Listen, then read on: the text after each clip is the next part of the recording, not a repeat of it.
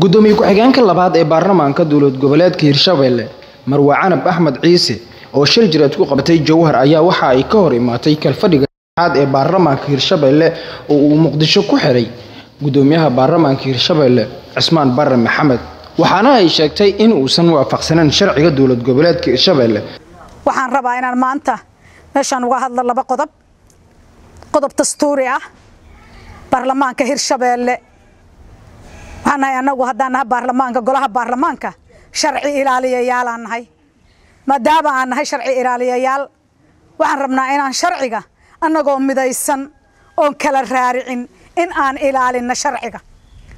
Waxaa lai sheegay baarlamaanka inuu guddoomiyaheeni baarlamaanka cismaan barre maxamed oo jooga magaalada xamar inuu soo diray masad uu leeyahay waxaan ku xihay baarlamaankii aniguna waxaan ahaa qofka xaruntii ku sugan oo ah kusimaha guddoomiyaha baarlamaanka. Waxaa la rabaa inaan ilaalino sharciga.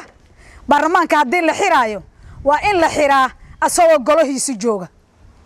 Qofka xiraayana waa inuu ku sugan yahay xaruntii baarlamaanka hirshabeelle ma xiri karo qof ka maqan hirshabeelle gebi ahaan xaruntii hirshabeellena ka maqan. Ma xiri karo baarlamaanka.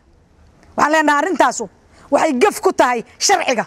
Ma aha sharci in la xiro. Waxaana leeyahay ma xirna baarlamaanka hirshabeelle ee waa inuu ku soo xaadiraa xaruntiisii iyo meeshuu ka shaqaysanayo waa inuu imaadaa waa inuu imaadaa caasimada hirshabeelle jowhar. Waa inuu imaadaa xaruntiisii. Markaasna an anagoo wada joogna aan baarlamaanka xirnaa. Laakiin laguma laguma xiri karo. Baarlamaanka masad laguma xiri karo.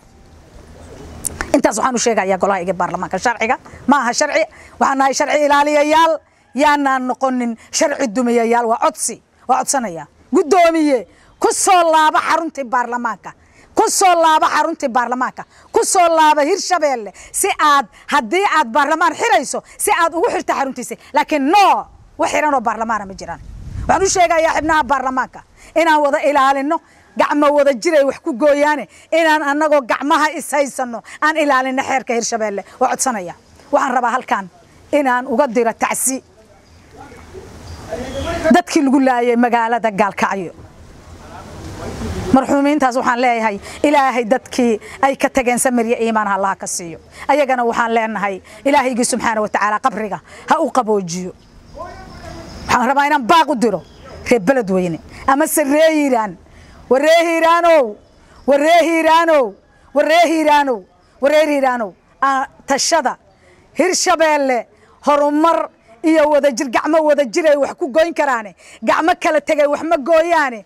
Waxaan codsanayaa intii dhimatay allaha u naxariisto inta dhaawacaana allaha caafiyo inta kalena waxaan leeyahay gacmaha isqabsada wadajir ayaan wax ku nehe kala tag waxba kuma lihin. Waxaan rabaa inaan warkayga ku soo gaabiyo. Mar mar labaad dib ugu noqdo guddoomiye cismaan barre waa ay fiirsan doonaa. Gudoomiye guddoomiye ku-xigeenkii koowaad xamar u jiraa xibnihii baarlamaankow hirshabeelle yaanaan u horseedin sharci lagu tunto annagoo sharci ilaaliyayaala maxamed yaasiin mahdi maxamed deeq alfa telefishinka dalsan jowhar